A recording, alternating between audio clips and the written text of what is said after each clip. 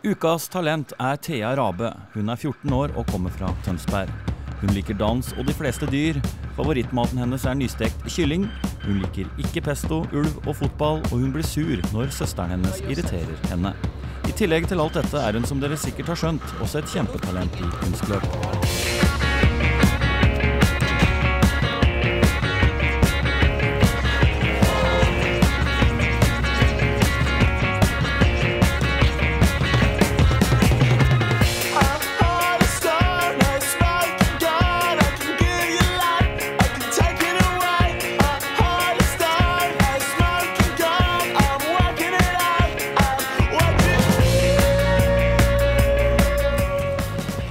Jeg starta med kunstløp da jeg var åtte år. Var, eh, da starta jeg på skøyteskolen her. Når Søstera mi hadde gått her litt fra før, og jeg syntes det så litt gøy ut.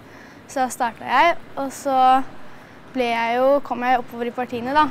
Og så når jeg var sånn aspirant, så syntes jeg ikke det var så gøy lenger. Så syntes jeg det begynte å bli litt kjedelig, men så fortsatte jeg litt til da, tilfelle jeg syntes det ble gøy igjen.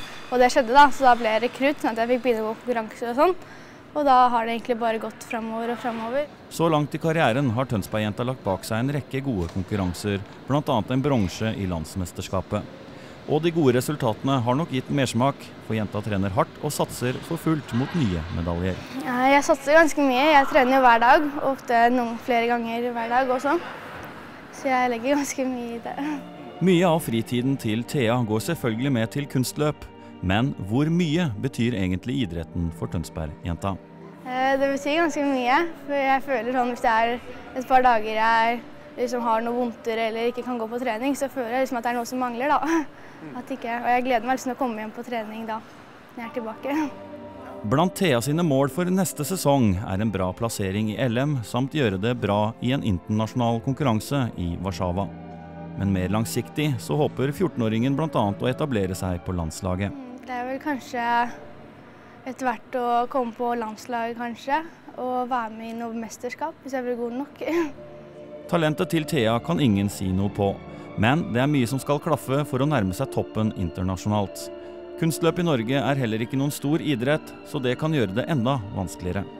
Eh, Det er jo litt eh, vanskelig, da, i forhold til, for det er ikke så mange, mange konkurranseløpere, og det er ikke så mange som eh, hevder seg internasjonalt. da.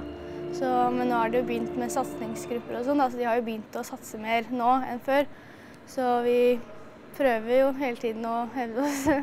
Så vi må liksom starte litt i det små med Norden og sånn, og så bygge oppover. Med denne positive trenden innen kunstløp så vil forhåpentligvis mulighetene for å komme langt vokse. Som kunstløper i Tønsberg har i alle fall Thea flere hun kan matches mot. Bl.a. sin søster Anine Rabe, så forholdene ligger godt til rette for 14-åringen. Vi ønsker henne herved lykke til med en lysende kunstløpskarriere.